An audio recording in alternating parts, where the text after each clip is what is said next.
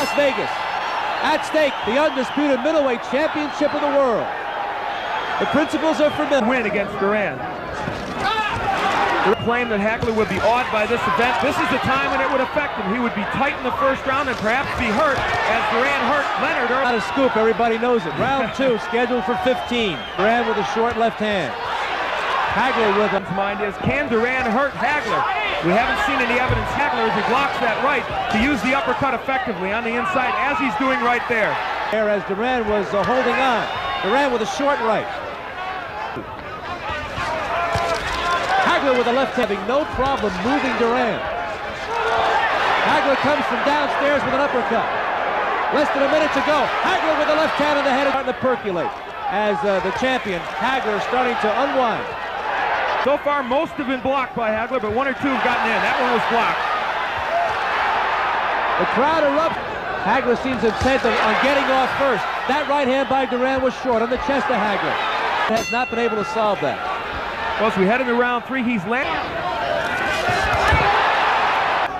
Duran insists that he's in tip-top shape. He trained for most of the summer. Hagler did this round three. Duran with a left to the head. With a right hand in the face of Hagler. Another right hand by Duran to the head of Hagler. Hagler with a big left hand that rocked Duran. Duran with a right uppercut underneath an express train of a left hand by Hagler. Hagler caught nothing but air. Round four.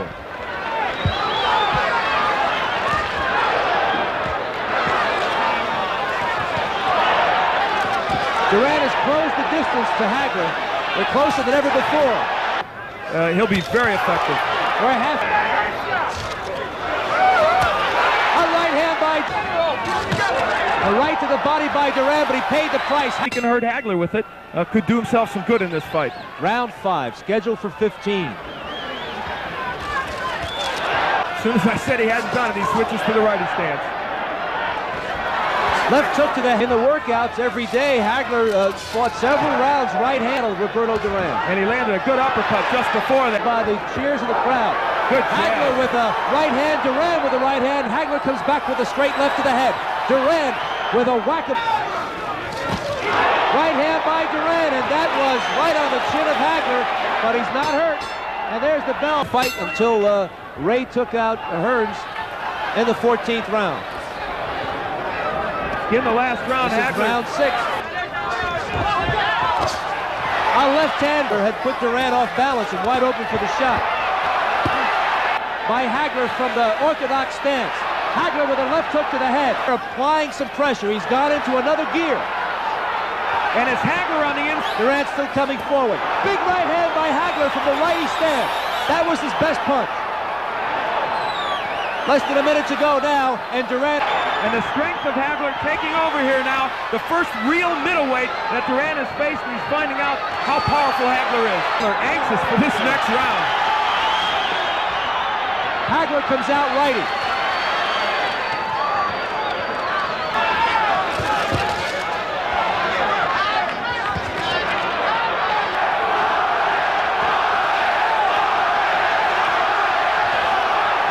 One has been dominant when they are inside. Good lead right by Hagler. As you can hear, Hagler pushing Duran to a fast pace here. He wants Duran to work hard. Hagler As he may be doing here against Duran, ran out of gas, got frustrated when the Firma wouldn't go down. this range, and uh, Hagler rumbling pretty well. Neither man has been. We are approaching the halfway mark of the fight. Al, I want your impressions about how one man has been able to prevail his. Blocked by Hagler. Now Hagler turns to righty, and watch how effective he is when he turns to this stance. He made a pivot move and hard jab there by Hagler. Yet another one. A countering right hand by Duran. He's a pretty good boxer.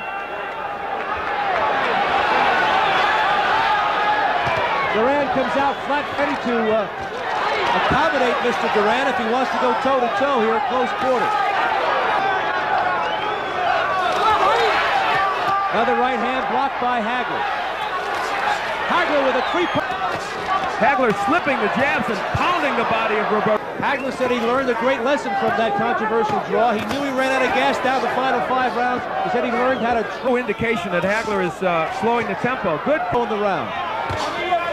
Hagler continues also to work the body very effectively. Eruption, a three-punch combination, then later some body work. That was the, uh, the major noise.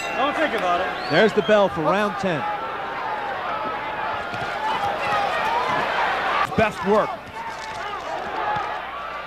Look at on the inside, appear to be the case on the inside. Hagler appears strong there.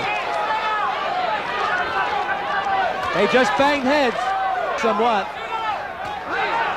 Chopping right hand by Duran, another one, and the Hag. Relatively clean fight considering what many boxing observers were expecting. Discernibly here in round 10. And a right hand, a hard left hand by Hagler. Duran came back with his own right. And it appears right now that Duran cannot hurt Hagler. Hagler with a couple of good combinations for Roberto Duran as this fight heads into its final stages. You wonder if the...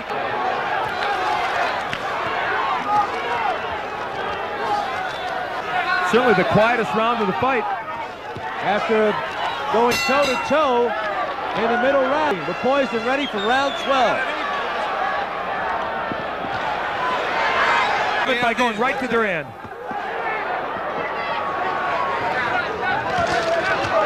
Right hand by Duran on head. He's been blocking a lot of punches. He has shown good defense in this fight. Better, I think, than Duran expected. Duran breathing very heavily, and I think...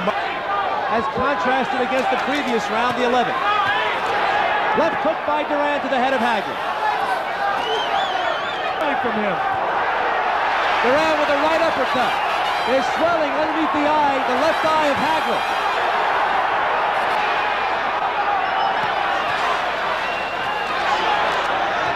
This is starting to fight, and of course that swelling under the left eye a factor now.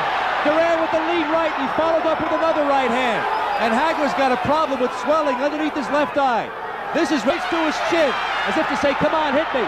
Hagler with the left hand, Roberto with the right.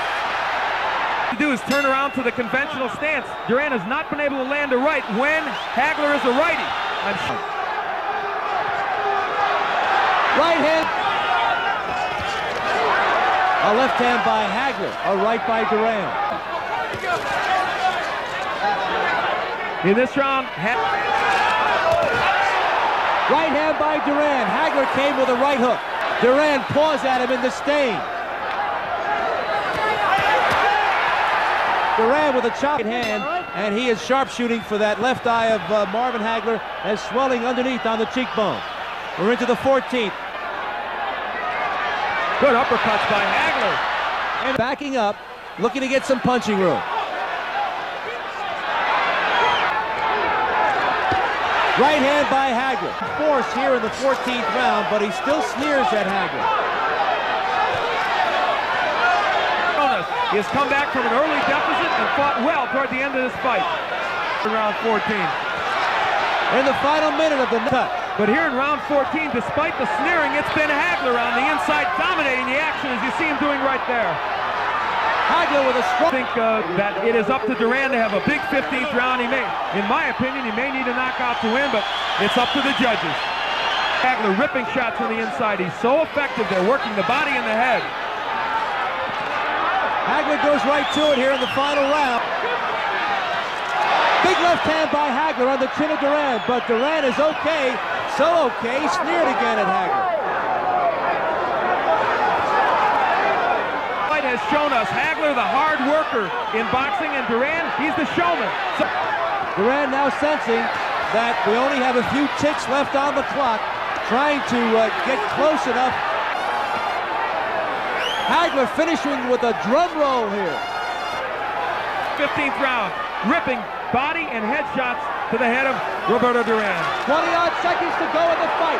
Left hand by, he rocks Hagler with the right hand. Hagler with the left as we head for the belt.